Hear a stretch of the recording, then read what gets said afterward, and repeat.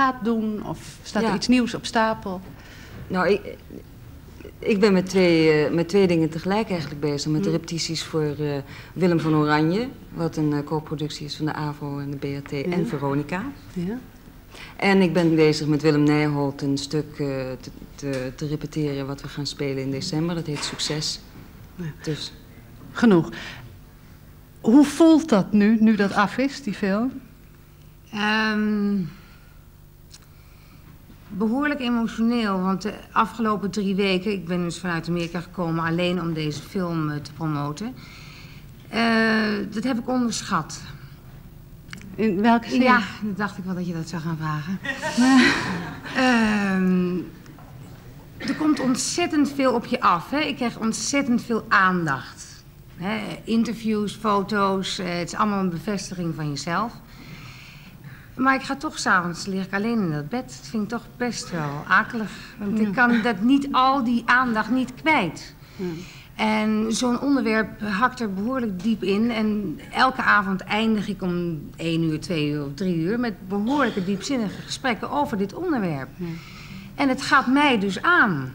Niet alleen qua film, maar ook qua de mensen om me heen. Hè? Het blijkt dus dat er ontzettend veel mensen zoveel dingen herkennen in de film. En ehm, ja, daar ben ik... eh, dat vind ik behoorlijk zwaar. Ja. ja, ik dank jullie wel. Het is een prachtige film. Jullie doen dat heel erg mooi. Ik vond het heel leuk om er met jullie over te praten. We praten daar in zekere zin ehm, straks over door. Niet over de film, maar over waarover het gaat. Een, een, jong meisje die werkt in een kapsalon in dit geval. Maar vrouwen die werken, houden op, zijn getrouwd, krijgen een kindje, denken, hm, lekker, niet meer werken. En gezellig thuis en mijn kindje en die man. En dan eh, is het allemaal een soort paradijs. En om de een of andere reden vallen ze dan in een diepe put. Nou, daarover hebben we het zo meteen met vrouwen die dat eh, niet eh, gespeeld hebben zoals Linda Monique, maar die dat echt aan de lijve hebben ondervonden. Daarvoor eerst een eh, heel mooi liedje uit die film. En dat liedje is geschreven door Laurie Spee in het Engels, omdat zij Amerikaanse is, hoewel ze wel in Nederland woont. Het is vanavond voor het eerst op de televisie. Het heet Dreamland Laurie Spee.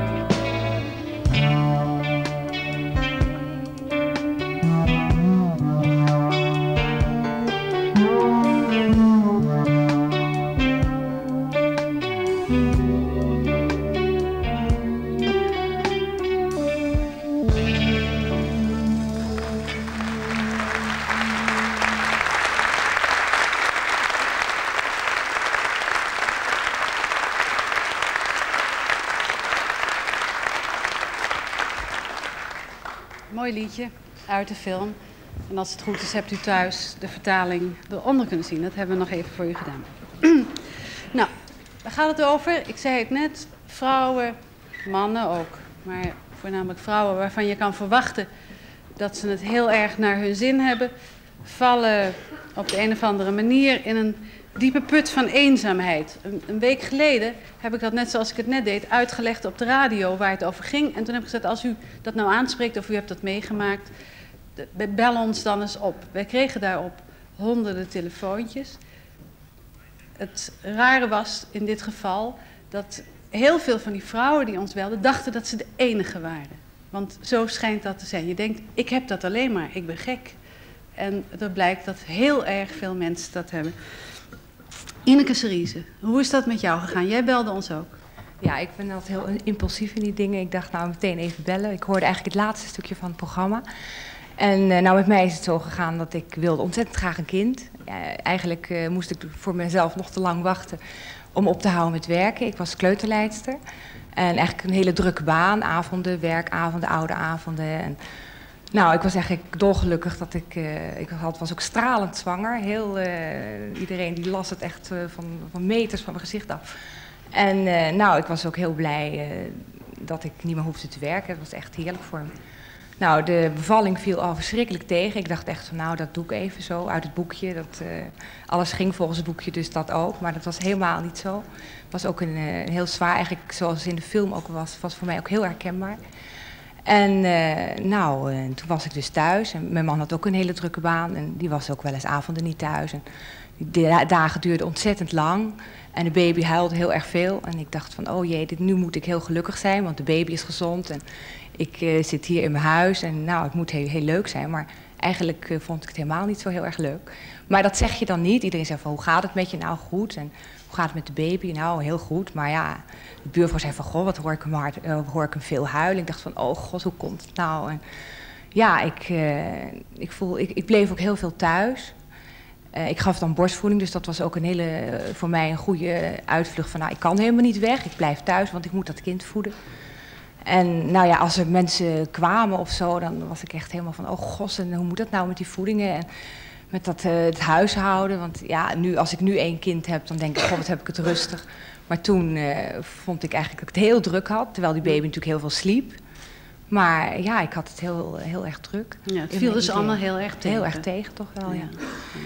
Maar je En- was een drukke baan gewend. Want kleuterleidster, eh, dan heb je er ik weet niet hoeveel om je heen. Ja.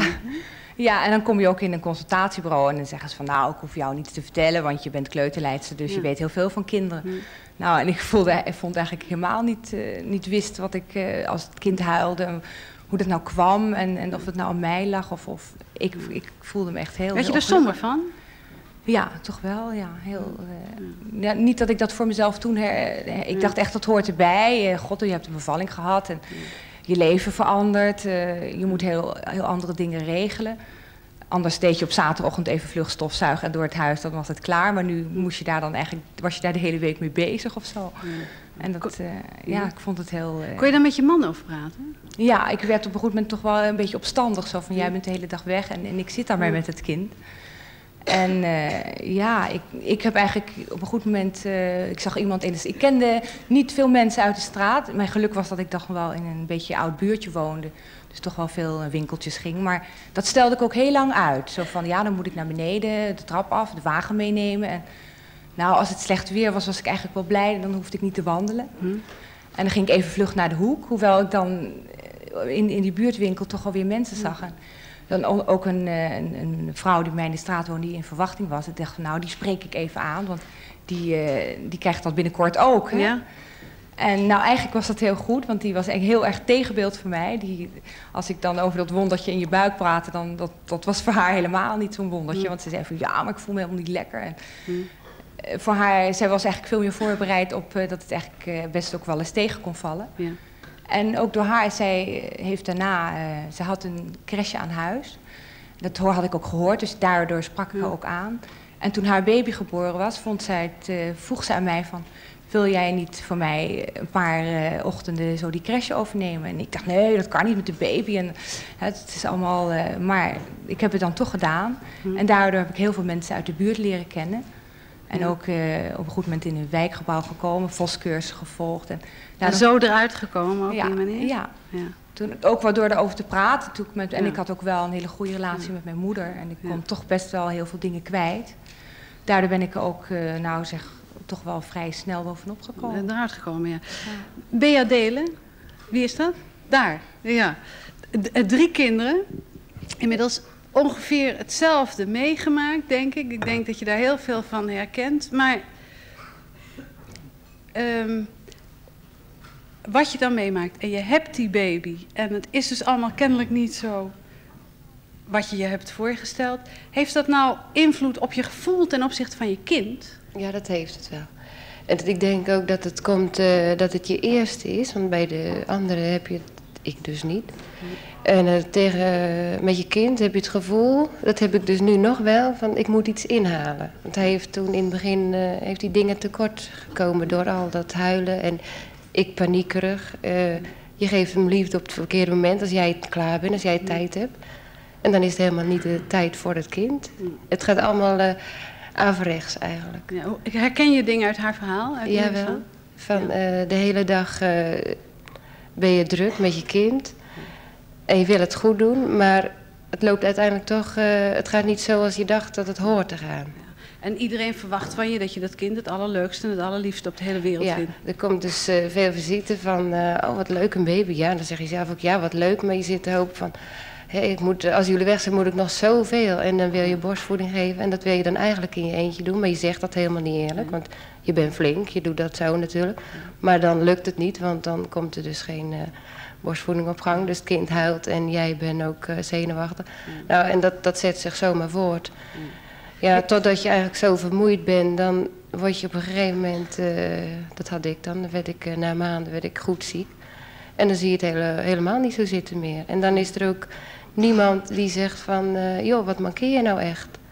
En zelf zeg je het niet, want ja, je denkt dat doe ik in mijn eentje. Je, dat bent weet waarschijnlijk, niet je bent waarschijnlijk ook niet aardig tegen dat kind. nee, helemaal niet. Ja, eh, je probeert het wel af en toe, maar dan heb je geen contact, want dan huilt hij en dan, dan, dan hoort je je niet en dan is hij bezig met zijn verdriet. Hoe ver, hoe ver gaat dat? Nou, dat kan erg ver gaan. Eh, als je heel moe bent, s'nachts, want je moet er dus uit voor borstvoeding ook. Eh, op een gegeven moment had ik er ook angst bij. En dan had ik het wiegje naast mijn bed gezet en dan moet je eruit. En dat kind wordt maar niet stil, wil door zijn verdriet ook niet drinken. En dan komt hij zelf zo strak binnen, dat snap ik nu dan wel. Dat, wat, wat, wat, wat doe je dan met zo'n kind? ja, je doet eigenlijk, eh, zoals nu met de derde of met de tweede, dan, dan weet je dat een kind eh, zijn eigen ritme heeft en dan pas je jezelf naar aan. En dan gaat het uiteindelijk het beste. Maar bij de eerste doe je zoals het boekje zegt, zoals de kraamverzorgster zegt, zoals de dokter, die dat, de dokter uiteindelijk niet eh, meer van hoe het hoort te gaan, zo voer je dat uit. En je kind is daar helemaal niet op ingesteld. En dat kan je niet doorvoeren. Heb je hem wel eens een aframmeling verkocht? Ja, één keer. Dat vond ik heel eng, midden in de nacht. En eh, dan heb je de laatste zo spijt, dan zit je hard te janken naast het bed. Ja, Dan denk je, wanhoop doe je ja, dat dus. en dan liep, liep te, te huilen over die overloop. En denk je, ja, straks val ik zelf van de trap. Nou, dan is het maar afgelopen. Maar dat gebeurt er niet, omdat je nog zoveel hersens hebt, gelukkig wel. In een, Maar je komt zo ver dat Ja, je van jezelf je. denkt... ik wou dat het Straks met mij ook maar afgelopen was. Ja, en ook van eh, straks zie ik het een keer niet meer zo nuchter. Dat ik, dat ik per ongeluk dat kind toch laat vallen. Dat heet dan per ongeluk. Maar ik eh, zie daar, eh, daarom vind ik het heel belangrijk dat er wat aan gedaan wordt. Ja. Of in ieder geval aandacht aan besteed Ja. wordt. Hoe ben jij eruit gekomen? Ja, een, een duidelijk antwoord daarop kan ik niet geven. Ik heb ook wel dingen opgeschreven. Die, die ik dus later dan doorlas, denk ik, ja, het was toch best wel iets. Eh, ja, bij die ziekte die ik toen had, dat ik dacht, nou, voor mij hoeft het helemaal niet meer. Dat, dat dan toch mijn moeder kwam en die begon te rennen voor je. Dan denk je, ja, uiteindelijk heeft ze het zelf ook druk. Dus ik moet toch maar beter worden. Dan, als je wil, dan lukt dat gewoon beter. Als dat je het niet meer wil, dan denk je, nou, ik lig hier, eh, ik zie het wel. Ja. In de film eh, Ademloos, waarin dit allemaal gespeeld wordt door de beide actrices, speelt ook Pieter Groenier. Waar wij niet zoveel van horen, maar die een even mooie rol speelt. En eh, ja, vroeger werd er over vrouwen wel eens niks gezegd, maar er schijnt een kentering in aanwezig te zijn. Ja. Eh, eh, Pieter, jij, jij bent die man van Monique. Herken jij iets van dat... pro- Je hebt het ook maar moeten spelen. Kijk, kon je dat navoelen? Herken je daar iets in? Begrijp je wat er aan de hand is? Nou, ik, jawel. Ik denk dat je als acteur sowieso eh, altijd put uit emoties die je zelf hebt gehad. Dus navoelen kun je bijna alles. Maar het belangrijkste wat ik heb gevoeld bij het maken van die film... dat is geweest de machteloosheid. Dat je als man naast een vrouw machteloos bent. Ja. Wat ik hier nu ook hoor in die, nou, wat ik hier nu hoor Ja, in die verhalen. eh, Waarom? dat Want die vrouw kan het je toch vertellen? Ja, nee. Je, je verbergt het. Heel veel vrouwen. Ja. Aan wie ze het ook vertellen. Maar juist niet aan die man. Ja, je, waarom vertel je het niet aan iemand? Of waarom? voor die man. Nee? Die man is dus de eerste die de, die de signalen opvangt, die de signalen ook te verwerken krijgt. En eh, nou, mijn ervaring is, als ik even uit mijn eigen ervaring spreek. Ik heb na mijn eerste kind een eh, hele lichte postnatale depressie gehad. En ook dat idee gehad wat jij nu zegt van nou, opgehouden met mijn werk. Na 18 jaar hele dagen werken, dat is natuurlijk een enorme overgang. Wel heel goed voorbereid op dat kind, dat nooit geïdealiseerd. Ik heb altijd het idee gehad van kinderen zijn voor 50% van zichzelf en voor 50% mag je. Mag je eraan komen? Ja. Maar eh, die 50% van Ja. zichzelf moet je dan wel slikken. En eh, nou, op een gegeven moment raakte ik heel erg depressief na die eerste bevalling. En eh, ik was daar heel boos over, op mezelf in eerste instantie. En ook eh, op mijn man, omdat hij niet begreep dat die omschakeling toch wel enorm was. Kon u het hem dan wel vertellen? Nou, ik, eh, ja, ik kon het hem wel degelijk vertellen. Snapte niet er wat van? En dat begreep hij ook heel goed. Hij heeft ook van het begin af aan stug volgehouden dat hij ook niet zou willen ruilen. Maar de, wat er eigenlijk met me gebeurde, ik ben dus ontzettend gaan analyseren. Van ja, hoe komt dat nou? Ik Ja. heb me zo goed voorbereid. Ik heb zoveel gelezen. Ik heb zoveel kinderen meegemaakt. Ik wist dat er ook poepluiers en, en, en nachtelijke bleerpartijen en ga zo maar door aan vast zaten. Maar normaal gesproken had ik dan wel die flexibiliteit om dat op te vangen. Maar ik was nu zo ontzettend honds en hond en hondsmoe. Dat is het. Dat is die machteloosheid. Dat is waarom je het niet kan winnen van jezelf. Dat maak je helemaal af, ja. Hè? Ja, Pieter? ik, Ja. ik, ben, ik ben het wel met je eens dat die man natuurlijk de eerste signalen krijgt. Maar dat zijn bedekte signalen, volgens mij. Nee hoor. Nee, het hoor. zijn signalen, je voelt continu in huis, als je thuis komt van je werk, als je daar bent, voel je het zindert. Er is iets. Je loopt op eieren. Ieder woord moet op een gouden schaaltje gewogen worden. Maar je kunt het niet vatten. Het is iets wat ongrijpbaar is. Het loopt als zand door je vingers. heen. Ja. In, die, in die film bijvoorbeeld, hè, dan zie je dat, eh, dat- Linda, wat wou je zeggen? Ja? ja. Ik denk namelijk dat iedereen er een beetje aan voorbij gaat dat, dat een depressie eh, bijna besmettelijker lijkt dan griep. Je hebt het gevoel, als ik hier te veel energie in ga stoppen, dan is die andere er eindelijk uit. En hup, want niemand staat bui- buiten de wet. Ik bedoel, eh, prinsen worden ook depressief. En filmsterren worden ook Ja, depressief. En- Dat Hè, dus ik denk dat het een ontzettend angstig gevoel is. Hm. Dat, je, dat je iemand, hè, als iemand één dag down is of een week down is, dan kun je dat nog wel aan. Maar als iemand het na een paar weken nog zegt, dan begin je te zeggen: Hé, godschat, is nou nog niet over. Toen Ja, nou. nou? Hè, dus even de schouders eronder. Want Ja. je krijgt, je eigen energie gaat weg. Ja, ben je, krijg je dan wat zeur je toch? Ja, dan krijg Zit je niet zo te eh, zaniken. van het, het wil dus niet. eh, nou, maak je niet druk, zeur niet zo. eh Nou ja, dan zudder je dus zelf verder. De een zal dus makkelijker met de ander kunnen praten. Dat is bij ieder verschillend. Ja, daar, daar Maar- komt natuurlijk een facet bij, hè. Die man, die, eh, nou, die baby wordt geboren. Hij krijgt één dag vrij. Lacht niet. Eén dag. De belangrijkste gebeurtenis misschien ook voor hem in zijn hele leven. Krijgt hij één dag vrij voor je. Eh, nou, als hij heel aardig is, neemt hij dan nog twee weken vrij. Maar goed, dan is het wel over. Dan is hij weer naar zijn werk. Dan verandert er voor hem in principe eigenlijk niets. Voor hem is de gang van zaken precies hetzelfde. Ja, dat is zo. Jij Voor blijft het leven thuis. door. En Jouw natuurlijk- leven is totaal anders geworden. En op een manier niet inleefbaar voor hem. Want hij maakt dat niet mee. Hij heeft dat nog nooit, Ja, nog nooit En gehad. dat is ook niet erg, want het is een zaak die je ook wel zelf een beetje aangaat. Dat vind ik toch niet erg. Maar daar Nou, komt wel bij dat je, ja, heel het is, het is wel heel erg. heel veel mannen maar je bent ook zo heel moe. Normaal zou je zoiets best wel meer aankunnen, maar omdat je zo moe bent en je blijft moe, want je moet er s'nachts uit, je hebt visite, je blijft, je blijft constant maar moe, dan kan je er gewoon minder goed aan. En dan kom je Ja, dus- maar, maar zo simpel is het niet. Hè? Want het is niet alleen het, het minder goed aankunnen omdat je moe bent. Maar je kunt ook, je zit in een, in een hele andere leefwereld plotseling, toch vrij plotseling, dan hij. Nou, hij komt thuis uit zijn werk. Laten we zeggen, de ontbijtboel staat nog op tafel. Er is niets gedaan de hele dag. Zijn vrouw loopt met zo'n sik. Het is iemand die die nauwelijks herkent. Ja, Hij vraagt hoe is het geweest probleem? vandaag. Zij zegt, wat kan jou dat nou schelen? Want voor haar idee, al lag de baby dood in de wieg. Hij is toch naar zijn werk gegaan. Hij ziet dat je het niet aan kan. Hij ziet dat je kapot bent. Jij weet verstandelijk, hij kan er ook niks aan doen. Ja, dat klopt. Dus dan denk je, je moet Maar het zelf voor je gevoel denk je, hufter, het is ook jouw kind. Ja. Jij gaat naar je werk, hoe durf je? Ja, maar Ik- goed. Karel, dat is, dat Ja. is die contramin, dat is ook die wanhoop waar echtparen in terechtkomen. Waarin ze zich elkaar gaan afmaken. In plaats van zich te realiseren, dit overkomt ons, dit is iets verschrikkelijks.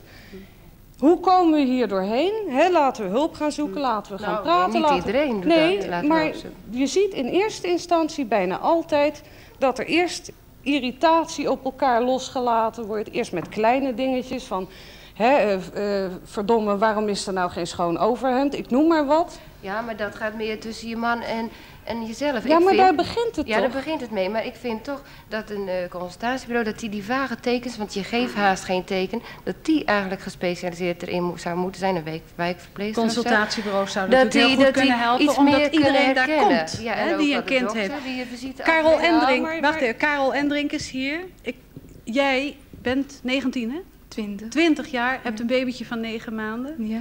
En wij zitten er nu over te praten, of zij zitten er nu over te praten en ik luister daarnaar.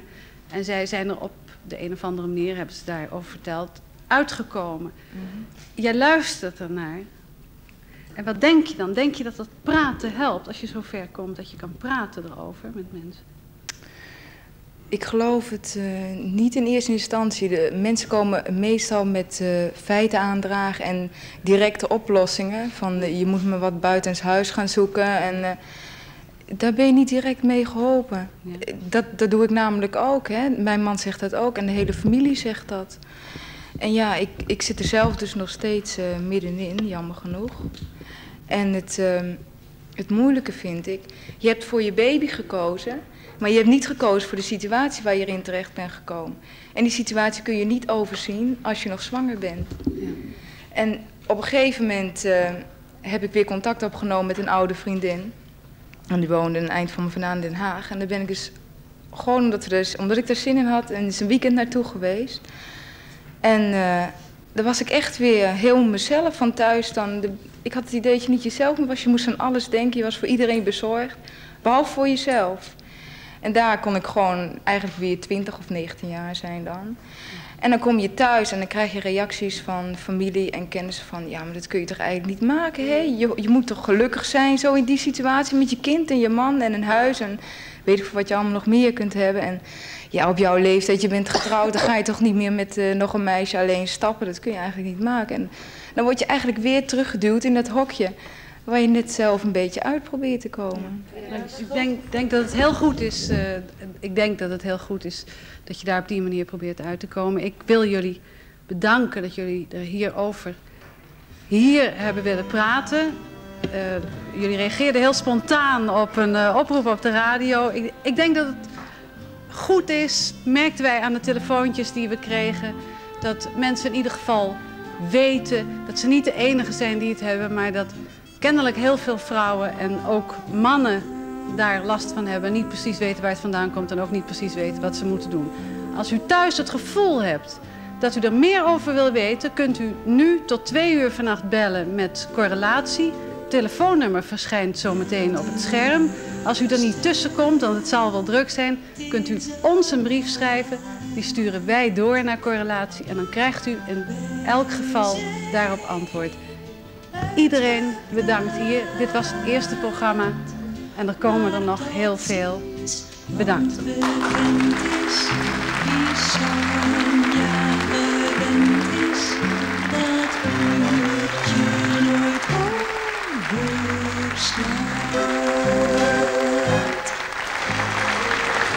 En dan wil ik voor u thuis nog even tegen u zeggen, voor straks lekker slapen en morgen gezond weer op.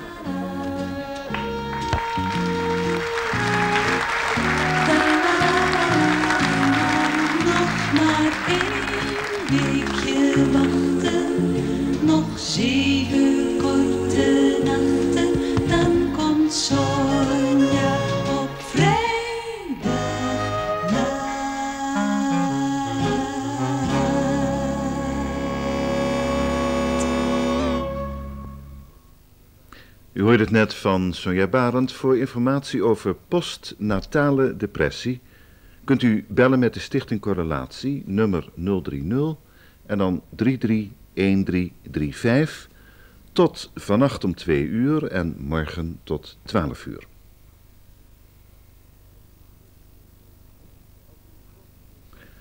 Als u volgende week bij Sonja op vrijdag wilt zijn, dan kunt u kaarten aan 5 gulden per stuk bestellen bij Theater de Meervaart, Osdorpplein 67 in Amsterdam. De kassa is dagelijks open, behalve op zondag, van 11 tot 4 uur. Het telefoonnummer 020 en dan 10 7393. Einde van het VARA-programma. De volgende VARA-televisieuitzending kunt u morgen zien, morgenmiddag op Nederland 1. En de VARA Radio is er morgen de hele dag op Hilversum 1. Wij nemen afscheid van u.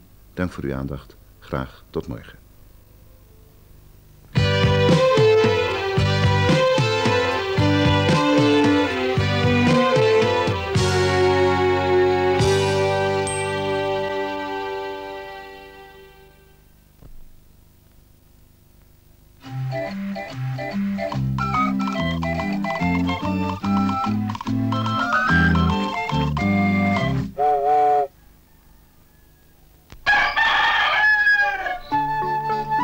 Meeste kinderen poetsen hun tanden niet